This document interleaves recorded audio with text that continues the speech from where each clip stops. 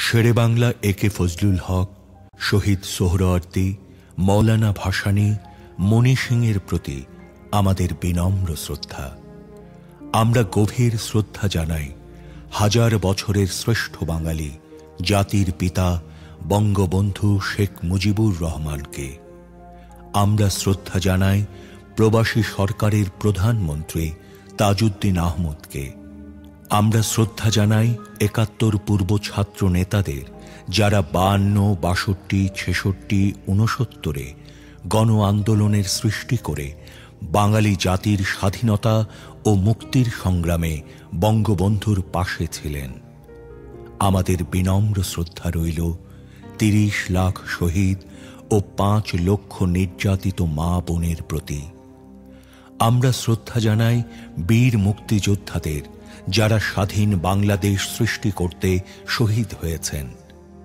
আমরা শ্রদ্ধা জানাই লক্ষ লক্ষ মুক্তিযোদ্ধাকে যাদের বীরত্বের কারণে আমরা স্বাধীন বাংলাদেশ সৃষ্টি করতে পেরেছি।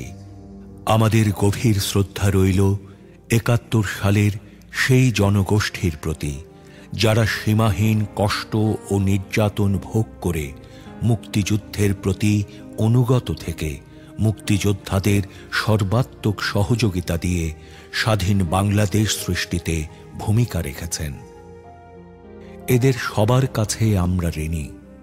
হাজার বছরের শ্রেষ্ঠ বাঙালি, জাতির জনক, বঙ্গবন্ধু শেখ মুজিবুর রহমানের কাঙ্ক্ষিত বাঙালি জাতীয়তাবাদী চেতনার বিকাশ, শোষিতের গণতন্ত্র, শোষণমুক্ত, বৈষম্যহীন সমাজ মানবিক মূল্যবোধ, সামাজিক ন্যায় বিচার, সামাজিক অর্থনৈতিক, রাজনৈতিক সাম্য প্রতিষ্ঠা করে জনগণকে ক্ষমতার প্রকৃত মালিক করে আমরা এদের ঋণ শোধ করতে পারি।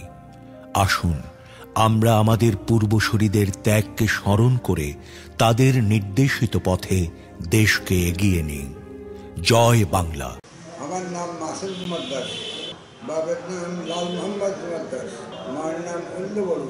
আমার স্থায়ী ঠিকানা হলো গ্রাম শাসন থানা লোহাগড়া জেলা নোড়া কি করতেন আপনি সে সময়? এমনি বাড়ি ঘুরে ঘুরে বেড়াতাম খেতে গ্রামে।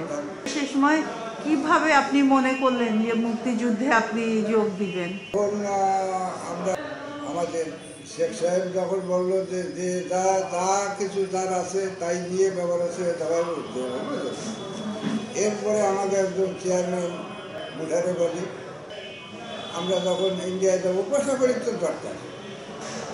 তখন উনি আমাদের খরচ বাড়ির দল দেওয়ার পরে আমরা চলে গেলাম ইন্ডিয়ায় আমার দলে ছিল দশজন শামসু মিয়া মতি মিয়া হারেজ মিয়া সবুর মিয়া। এই এইভাবে দশজন আর কি আমার দলে ওইখান থেকে। তারপর আপনার ইন্ডিয়ায় গেলেন কীভাবে? ইন্ডিয়া আমরা গেলাম হাটিয়া পাঁচ নম্বর তালিকা লেফটেন্ট মতি আসছিল। উনি থেকে বাবার এসে ওই জায়গা আমরা ক্যাম্পিং আমাদের ওই জায়গা শুরু হলো। আমাদের পাঠালো বিহার বীরভূম আট নম্বর সেক্টর। ওইখানে পাঠালো, ওইখানে পাঠালি, ওই জায়গাতে আমাদের সব অস্ত্র হলো। হওয়ার পরে ওই জায়গার থেকে আমাদের পাঠালো করলেন আমাদের সব অস্ত্র শস্ত্র সংগ্রহ করে দিয়ে বলল যে তোমরা এখন দেশে যাও।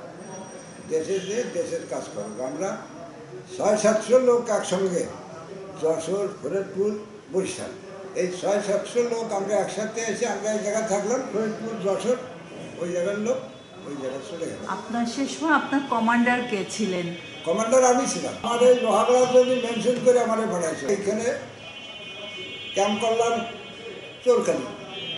আবার পরে যে ক্যাম্প করলাম ইটনা।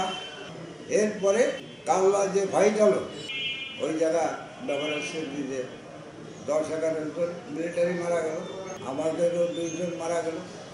থানা অ্যাটেক করলাম, থানা ক্যাপচার করলাম, আটই ডিসেম্বর।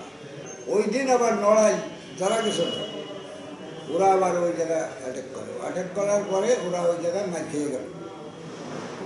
জায়গায় মার খেয়ে গেল, মারা গেল। যে আসে, এর মধ্যে একজন আসে, তারও ধরে নিয়ে গেছিল তারও মারছিল এরপরে দশই ডিসেম্বর ওই লড়াইকে আমরা মুক্তি করলাম দশই ডিসেম্বরের পরে সব মিলিশা ক্যাম্পে মিলিশা ক্যাম্পে এসে ভর্তি হলাম। ওইখান থেকে হচ্ছে কি যে ব্রিটিশ সরকার যখন ভেঙে গেল পরে আমরা দেশের কাজকাম যা আছে তাই আমরা করি।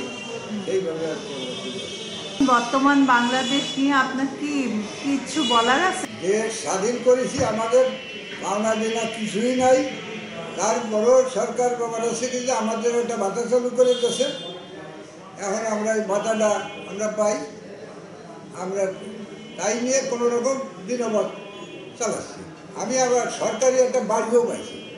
এখন যে অবস্থা বর্তমান যে অবস্থা আছে এই অবস্থায় যে পয়সা করে যায় এতে আমরা ভালো চলতে পারছি এখন বুড়ো মানুষ আমরা তো এমন কোনো দিন আছে দুইজন মুক্তি উদ্ধার করতেছে।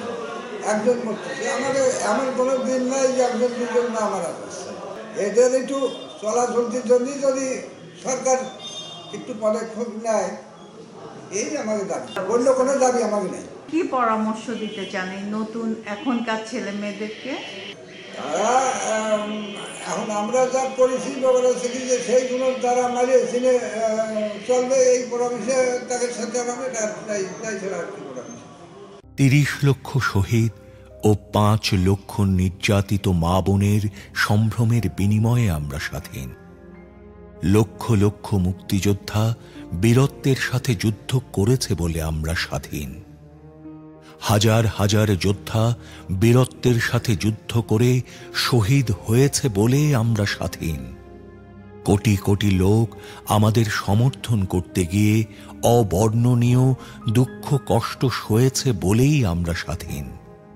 হাজার বছরের শ্রেষ্ঠ বাঙালি, জাতির জনক, বঙ্গবন্ধু শেখ মুজিবুর রহমানের কাঙ্ক্ষিত বাঙালি জাতীয়তাবাদী চেতনার বিকাশ শোষিতের গণতন্ত্র, শোষণমুক্ত বৈষম্যহীন সমাজ, মানবিক মূল্যবোধ, সামাজিক ন্যায় বিচার, সামাজিক, অর্থনৈতিক, রাজনৈতিক সাম্য প্রতিষ্ঠা করে জনগণকে ক্ষমতার প্রকৃত মালিক করে আমরা এদের ঋণ শোধ করতে পারি।